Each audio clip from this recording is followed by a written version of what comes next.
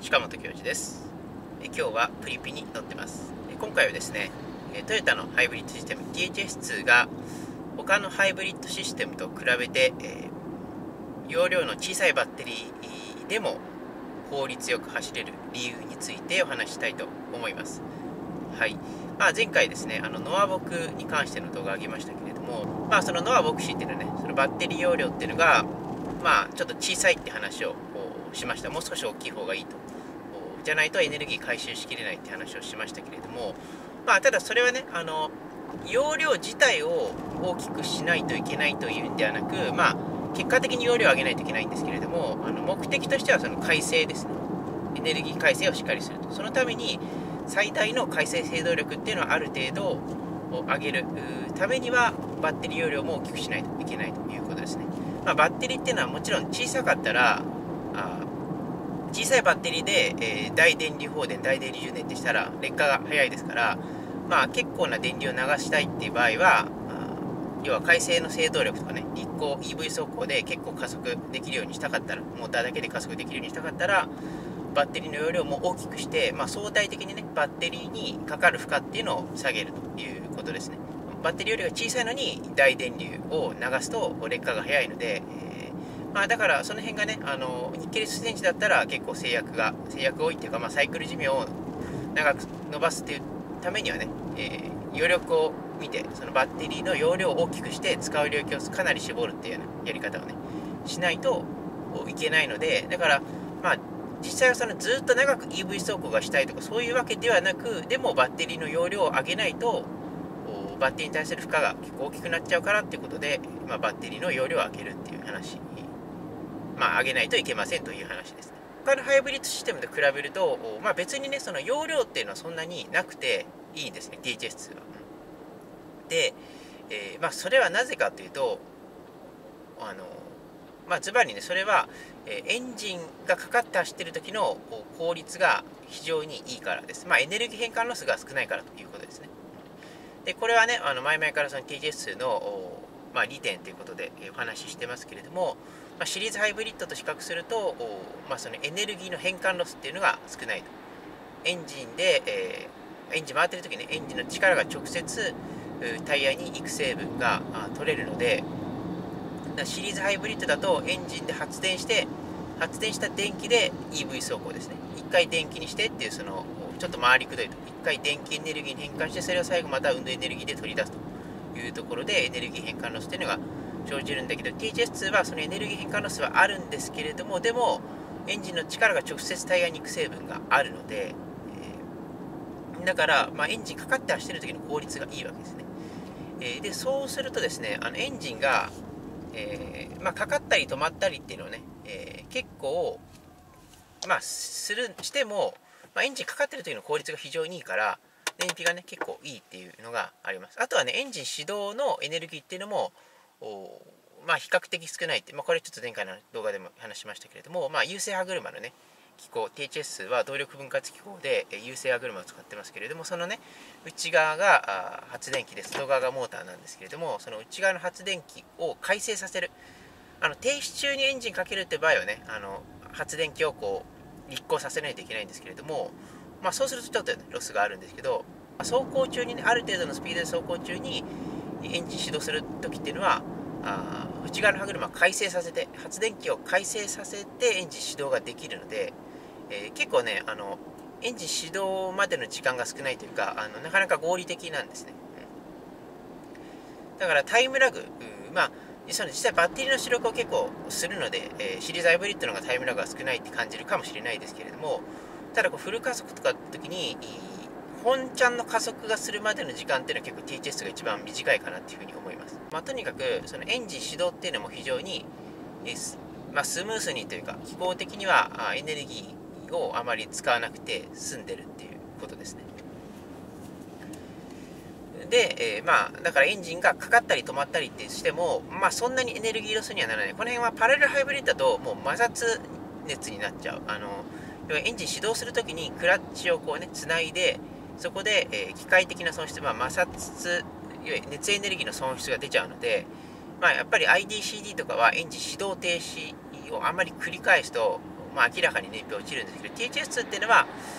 まあ、そこはねあのやっぱ繰り返さない方がいいんですけれども、まあ、それはハイブリッド車の鉄則でねエンジンかけたり止めたりを繰り返さない方がいいっていうのはあるんですけどでもまあ比較的エンジンかかったり止まったりしても OK ということで、だからまあねあのその辺が、えー、THS の、まあ、魅力なわけですね。でシリーズハイブリッドだと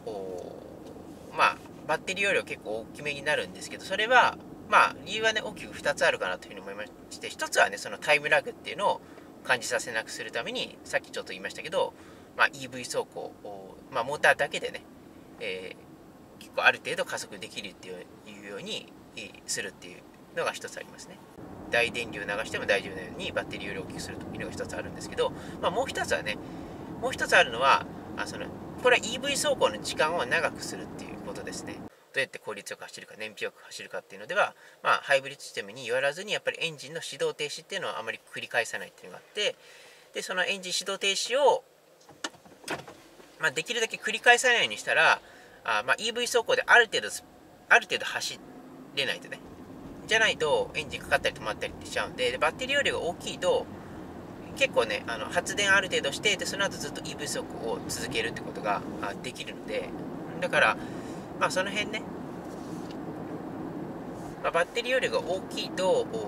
エンジンの始動停止っていう回数を減らすことができるんですね。だからその辺が、まあ、バッテリー容量が大きい方が、まあ、有利というところになります。THS と e パワー比べるとすごいバッテリー容量違いますけれども、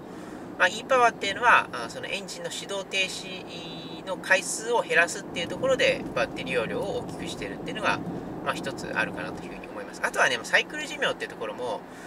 まあね、そのシリーズハイブリッドをまあ、そバッテリーの劣化っていうのはどれぐらいの感じで進むかっていうのは、あのもしかしたらね、ちょっとノート e パワーが検証、こう実際こうリリースして検証するっていう部分もね、お客さんに使ってもらってデータを取るっていうのもあると思うんで、まあ、ちょっと余力を見て大きめのバッテリーにしてたっていうのもあるかもしれない。もうちょっとね、小さくてもまあいいかなっていうのはあるんですけど、だからちょっと e パワーね、あの特にノート e パワーに関してはちょっと大きいかなって。まあ、セレナ e パワーね、えー、あの、マナーモードとかね、あるし、まあ、あの辺の、まあ、あのなていうかな、楽しさっていうのがあるんで、バッテリー容量大きいっていうのはすごくいいなというふうに個人的には思うんですけど、うんまあ、あと車重も結構あるんだよね。まあ、ノート e パワーが1300キロぐらいですよね、1200キロぐらいか。が、えー、セレナ e パワーだと1600キロ、1700キロ。うん、1700キロぐらいはあるか。まあね、えー、結構違うんで、まあで、バッテリー容量1.5キロワットアワーと1.8キロワットアワーだから、まあ、その車重の差に関して言うと、まあちょっと、あれかな、ノート e パワーのが割が容量大きいかな。うん、だけど、うん、まあその辺はね、設計思想っていうか、まあ、ちょっと変わってる部分あると思うんですけど、まあ、とにかく e パワーは結構バッテリーより大きいんですけど、まあ、その辺それはねなぜかっていうと、まあ、エンジン始動停止の回数を減らすっていうのが一つあると思います。で、これ制御もね、まあ、明らかにね、エンジン始動停止をあんまり繰り返さないように制御してるなっていうのは思うんですけど、制御からもね。まあ、というところで、えー、ただ THS2 っていうのはそのエンジン始動停止っていうのがある程度繰り返しても、まあ、その加速する時の効率が非常にいいので、うん、だからまああんまりいい問題ないということですね。で、まあ、THS の場合はそのエンジンの回転数っていうのも変えられるんで、シリーズハイブリッドだったら、まあ、エンジンのその燃焼効率がいい領域で基本回すっていう発想になるわけですね。どうしてもエネルギー変換ロスがあるので、その分エンジンはとことん燃焼効率がいい領域で回したいんですけど、THS2 はエネルギー変換ロスが少ないので、エンジンの回転数っていうのは、まあそんなにめちゃくちゃ一番効率がいい領域で回さなくても結構だからその幅を持たせてるっていうかね、まあ、あとはそのエンジンの性質として、えー、まあ、結構ピンポイントじゃなくてね広い領域で効率よく回るようなエンジンっていうのを開発トヨタはしてますけど、まあ、その辺はエンジン車でも通用する技術ですからね。普通のガソリン車だったら本当にエンジンの回転数ってアクセルワークで、えー、変わってくるんでその辺がバッテリーの充電っていうので調整できないから本当に、えーだ脱線走行に近いような状況っていうのはエンジンはすごい低負荷で回ってますけど、まあ、そういった時でも効率よく回るようにって考えたらあまあその高負荷時でも低負荷時でもいつでも効率よく回るエンジンっていうの開発をしないといけない。でガソリン車ではそういう技術がすごく必要になってきてハイブリッドだと、まあ、シリーズハイブリッドにしちゃえば別にね、えー、この領域でめちゃくちゃ効率よく回るでいうようなエンジンでいいんですけどまあでも実際ガソリン車はねどこのメーカーも出してますから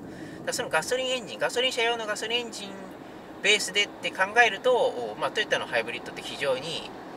なんていうかなあの合理的というかですねガソリン車で使った技術をすごく活かせてる、まあ、ハイブリッド車と特化したエンジンって考えたら別にね、うん、あのー、イパーみたいなエンジンの回し方でいいのでだけどそれっていうのはちょっとそのガソリン車で使った技術はあまり活かせてないかなというかピンポイントにとことん燃焼効率がいい領域で回ればいいのででまあこれは前に言ってますけどそのバッテリー残量によって THS っていうのはエンジンの回り方変わるんでバッテリーが結構溜まってる時っていうのはエンジンの回転を下げます。で、充電あんまり下げしなくなると。バッテリー残量が少ない時っていうのはエンジンの回転を上げると。で、結構充電積極的にするというとこですね。うん、まあ、その辺はね、前にあのカローラフィールダー、ハイブリッドのタコメーターの様子で、えー、バッテリー残量によって、えー、結構タコメーターのその回転数が変わるってことをレビューしてますけど、あとカローラ、えーと、カローラスポーツでも言ったかな。うん。だからその辺が本当にエンジン車で使った技術がすごく活かせてると。ころですね。っていうのもやっぱりトヨタのすごいところというかこの動力分割機構はねやっぱりすごいんですよね、うん、でそんなわけでね非常にその加速面で効率がいいからこそまあ前の動画で言ったねその改正があまりちゃんとできてなくても日産とかホンダともう実燃費十分戦えるレベルという話になってくるんですね。だから非常に THS っていうのはまあ、優秀ですね。うん、で、えー、だから他社がこのシステムに、えー、勝とうと思ったら、まあ、本当にまあエネルギー回収を合致するっていうのは絶対条件で、えーうん、でもって EV 走行もある程度できない電池自動停止の回数を減らせないから、まあパラえーと、シリーズハイブリッドでやるんだったらね。だからどうしてもお金がかかる方向に行く。THS だとまあ、あの、お金をあまりかけなくても、結構燃費がいくし、お金を結構かけて改正がある程度できるようにしたら、もっとね、燃費いくということですね。で、ただし、その前回の動画で言ったように、応用力っていうのはやっぱり起伏がある程度あるコースとかになると、まあ、単純にバッテリーより大きい方がいいので、THS だとちょっとその辺は改正執行しちゃうかなと、バッテリーが満充電になったらもう効率よく走れないので、うん。というところはあるんですけどでもまあ普通に平坦走るとかだと、まあ、目的としてはそのバッテリー容量を大きくする必要はない。その EV 走行が目的ではないので特に THS だったら EV 走行をしなくても効率よく走れるので、うん、だからまあそれバッテリーの容量はあんまり大きくする必要がないですね。THS はね、うん、はい。ということで今回はですね THS のすごいところ他社と比べて容量の小さいバッテリーを積んでても太刀打ちできる理由についてお話しさせていただきました。ご視聴ありがとうございました。